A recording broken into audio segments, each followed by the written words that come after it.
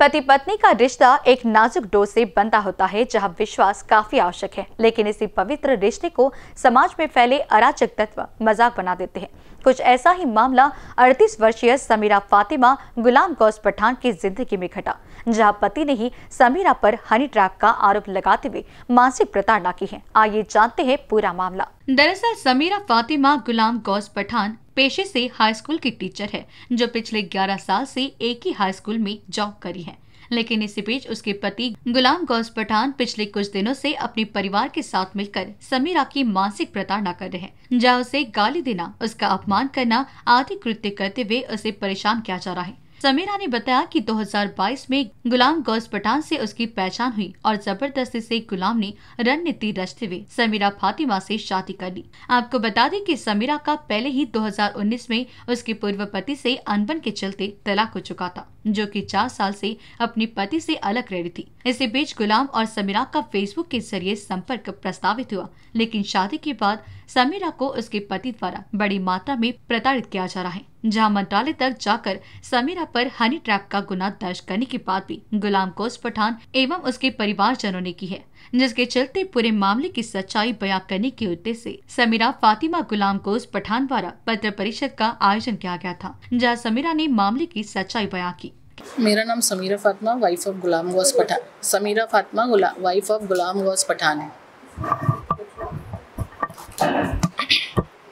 और मैं एक टीचर हूँ हाई स्कूल में और दस साल, ग्यारह साल से एक ही स्कूल में जॉब कर रही हूँ और ट्वेंटी थ्री ईयर्स से मैं कामटी में हमारा जो घर है एड्रेस हमारा, उस पर रहते हैं।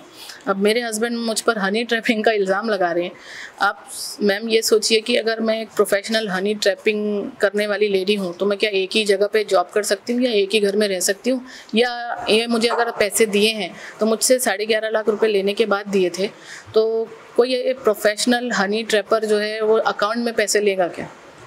एक जो परमानेंट अकाउंट है जो 2006 से बना हुआ है, एक अलग सा उनकी मेंटेलिटी है, जिसने हेल्प किया उससे, उसके साथ शक करना, जिसने मदद किया उसके साथ में ये करना, और बार बार बच्चा चाहिए बोलकर घर में आना और फिर बच्चे के वक्त में मुकर जाना बहुत सारी हरासमेंट है मेरे साथ। बस वही हरासमेंट और वो बार बार मुझे बोलते हैं कि मैं हनी ट्रैपिंग का केस कर दूँगा, मंत्रालय चला जाऊँगा, यहाँ जाऊँगा, वहाँ जाऊँगा। मैं एक बार अपनी लाइफ में 2019 में ये केस वेस देख चुकी हूँ, बहुत सफ़र होना पड़ता है। बस मैं ये चाहती हूँ कि मेरे ऊपर कोई झूठा केस ना हो और कोई मसला ना हो, मैं इसलिए आप लोगों को बता रही हूँ क्योंकि इन्होंने शायद सैटरडे को प्रेस कॉन्फ्रेंस लिए है तो मुझे पता चला तो फिर इसलिए मुझे यहाँ आना पड़ा। बाद में पता चला ना, बाद जो शादी के बाद पता चला था, उनकी बेटी और उनकी सिस्टर ने बताई थी मुझे उनके बाद में और मसला ऐसा है मैम कि देखिए मुस्लिम लॉ के हिसाब से वो कर सकते हैं, अगर वाइफ एक्सेप्ट कर रही है तो।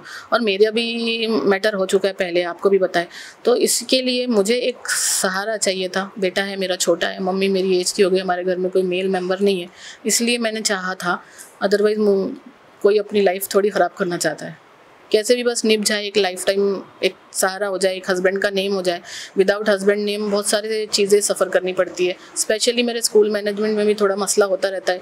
हस्बैंड आ गए थे मेरी लाइफ में तो एक सुकून था कि वहाँ का प्रेशर मेरा ख़त्म हो गया था।